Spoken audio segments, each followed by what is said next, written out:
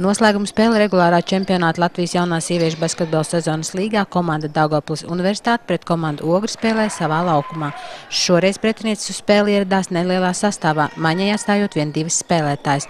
Laikam šis arī bija iemesls tam pretiniešu straujam zaudējumam. Pirmajā ceturdaļā pārliecinošu punktu pārsvaru ieguva Daugavpilietis ar 29 pret 10. Arī nākamā spēles 10 minūtes neievies spēlē nekādas izmaiņas, kā rezultātā Daugavpilietis ieguva jau vairāk kā 100 punktus. Spēle noslēdzās ar pārliecinošu ogres sakāvu 52-104. Labāko rezultātu Daugavpils universitātes sastāvā uzrādīja Santa Baltac, iegūstot 24 punktus. Starp citu, Baltace kļuva arī par rezultatīvāko līgas spēlētāju. Pretinieciem vislielāko punktu skaitu kopumā 15 punktus ieguva Anita Pirktiņa.